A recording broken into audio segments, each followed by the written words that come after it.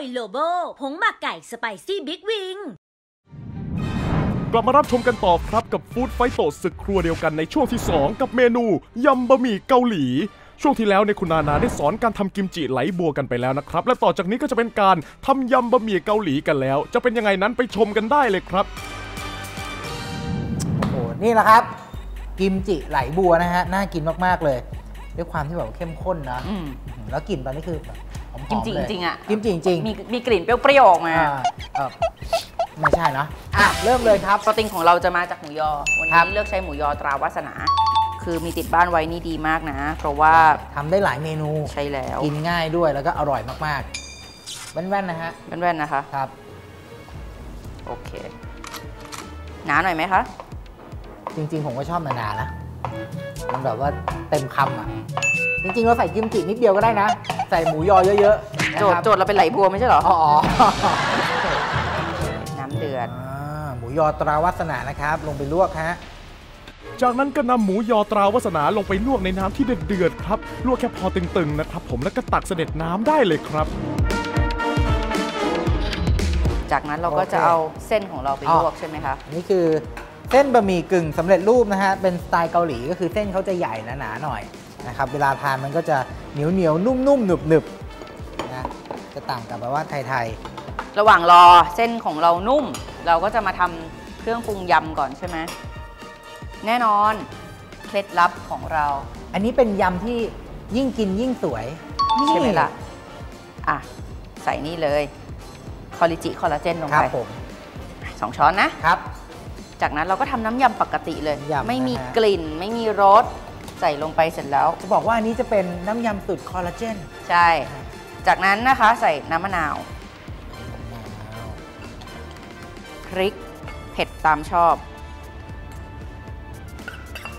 แล้วก็เครื่องบะหมี่เทดดี้ค่ะครับ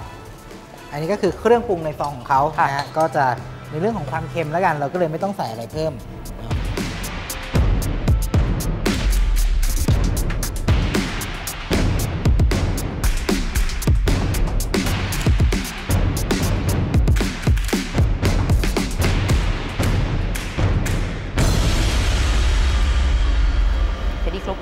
เลยเอาคลุกเคล้าโอเค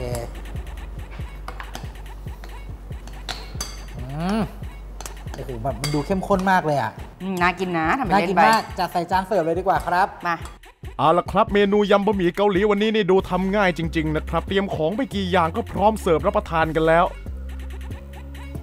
จากนั้นเราก็จะใส่ผักลงไปนิดนึงให้รู้สึกว่าเออเราแบบพื้นที่สีเขียว พวกเราชอบกินผักนะ จากนั้นเราต้องมีของเพิ่มใช่ไหมเทดดี้ผมขอหมูยอก่อน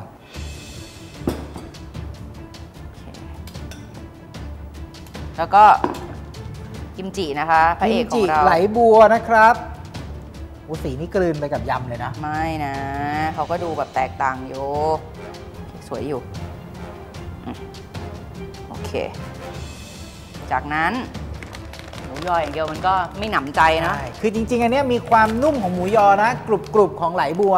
แต่อันเนี้ยมันอร่อยแล้วก็กรอบกรอบๆมากๆเลยนะฮะ อันเนี้ยเราใส่หมูฝอยกรอบตราวาสนาเพิ่มลงไป อันนี้อร่อยมากแล้วรสชาติเขาดีจริง ๆ นะครับ ไม่รู้จะเลือกกินอะไรก่อนดี แต่จริงๆคือคลุกเคล้าให้เข้ากัน คือด้วยความที่มันเป็นหมูหมูฝอยกรอบใช่ไหมมันก็จะมีความกรอบกรอบๆอ่ามีรสชาติของเขาอยู่แล้วมันก็กินง่ายอร่อย วันนี้งาขาวเนี่ยนะคะ เราก็เลือกจากงาขาวแบบนี้ตรานี่ข้าวทองเลย เอามาคั่วจนกระทั่งหอม แล้วก็จะได้มาเป็นแบบนี้นะคะแล้ สาหร่ายเนาะครับโอเค เรียบร้อยค่ะยำบะหมี่เกาหลีครับยำบะหมี่เกาหลีเสร็จแล้วครับ เมนูประยุกต์ที่นำวัตถุดิบพื้นๆบ้านๆไทยๆอย่างไหลบัวนำไปทำกิมจิสไตล์เกาหลี ที่มีความกรุบกรอบและรสชาติที่ลงตัว แล้วก็ทานพร้อมกับบะหมี่เกาหลีเส้นเหนียวนุ่มที่คลุกเคล้ากับน้ำยำที่มีรสชาติกลมกล่อมแล้วนั้น ยิ่งทำให้อร่อยแบบฉุดไม่อยู่จริง ๆ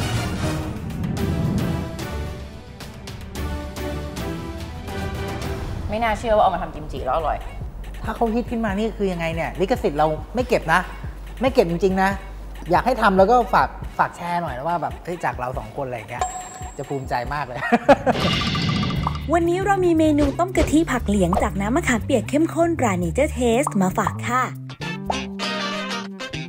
กะทิสำเร็จรูปลงในภาชนะนำขึ้นตั้งไฟ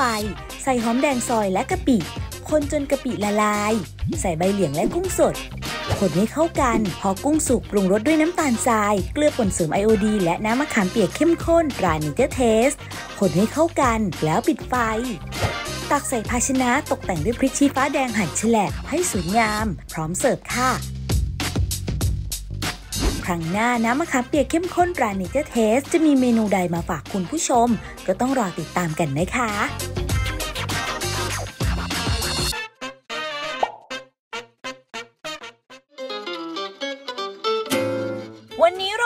อร่อยๆมาฝากค่ะกับเมนูผายไส้ต้มยำกุนเชียงปลา อร่อยง่ายหลากสไตล์ด้วยผลิตภัณฑ์คุณภาพจากวาสนา ใส่แป้งสาลีอเนกประสงค์ น้ำตาลไอซิ่ง ผงฟู และเกลือป่นเสริมไอโอดีนลงในภาชนะ ตีด้วยความเร็วต่ำ เติมเนสดชนิดเค็มและเนยขาว ตีด้วยความเร็วต่ำจนส่วนผสมร่วนเป็นเม็ดทราย ใส่นมข้นจืด ตีจนส่วนผสมจับกันเป็นก้อน พักแป้งไว้ประมาณ 1 คืน เตรียมไว้สำหรับหุ้มไส้ต้มยำกุนเชียงปลานำกุนเชียงปลาตราวาสนาที่ได้เนื้อปลาแบบเต็มๆคำผ่านการปรุงรสจนอร่อยลงตัวหลงต้มจนสุก จากนั้นนำไปสับให้ละเอียดเตรียมไว้ นำเครื่องต้มยำสำเร็จรูปนำพริกเผาและน้ำลงในภาชนะคนให้เข้ากันเตรียมไว้ ใส่น้ำมันพืชลงในภาชนะนำขึ้นตั้งไฟพอร้อน ใส่กุนเชียงปลาตราวาสนาต้มสุกสับละเอียด ผัดจนกระทั่งสุกเติมส่วนผสมเครื่องต้มยำและไข่ต้มสุกผัดให้เข้ากันอีกครั้ง โรยแป้งข้าวโพด ผัดจนส่วนผสมจับตัวกัน และแป้งสุกดี จากนั้นปิดไฟพักไว้ให้เย็นสนิท วางไส้ต้มยำกุนเชียงปลา ลงบนเขียงที่ปูด้วยฟิล์มถนอมอาหารเป็นเส้นยาว ประมาณ 3.5 นิ้ว หุ้มด้วยฟิล์มถนอมอาหาร มัดให้เป็นแท่งนำเข้าแช่เย็นจนกระทั่งทรงตัวดี เตรียมไว้ รีดแป้งพายให้ได้ขนาด4คูณ4นิ้ว หนาประมาณ1ส่วน2เซนติเมตร วางไส้ต้มยำกุนเชียงปลาที่แช่เย็นไว้ ลงบนแป้งพาย หุ้มแป้งให้มิดแล้วนำเข้าแช่เย็นอีกครั้ง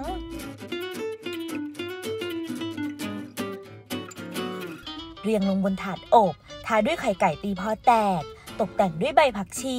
และทาด้วยไข่ไก่ที่ตีพอแตกอีกครั้งนำเข้าอบที่อุณหภูมิ 375 องศาฟาเรนไฮต์นานประมาณ 10 นาที แล้วนำออกจากเตาพร้อมเสิร์ฟค่ะ เพียงแค่นี้ก็พร้อมเสิร์ฟค่ะกับเมนู